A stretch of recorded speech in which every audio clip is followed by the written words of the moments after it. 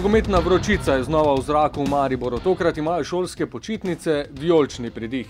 Dan pred derbijem se je v ljudskem vrtu zbralo neverjetnih skoraj tisoč ljudi za dodatno vijolično energijo. Igra, ustvarjanje, unema, otroška razigranost.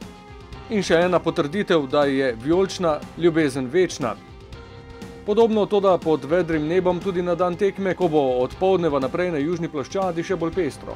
Tudi vstopnice za derbi gredo dobro v promet in so na razpolago vijolični bajti in od 12.30 naprej tudi na stadionu.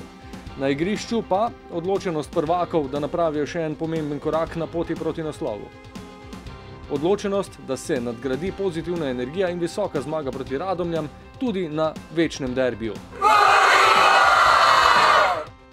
Eh, verjamem, da bo Olimpija prišla z, z visoko ambicijo, mi smo pa seveda doma eh, definitivno ekipa, katera želi zmagovati, eh, ekipa, katera želi dokazati, da je najboljša, kar je že ogromno krat in tako bomo tudi krenili v, v tekmo sredo.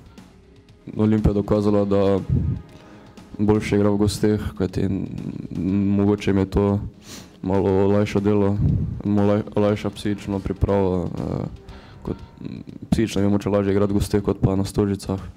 Tako da v prvem, prvem delu prvenstva so prišli sem, so odigrali dosti solidno tekmo. Uh, ampak mislim, da če bomo mi pravi, če bomo sprintali vseh 90 minut, da, da nimamo nekih pravih možnosti za zmago. Veselimo se že tekme v sredo.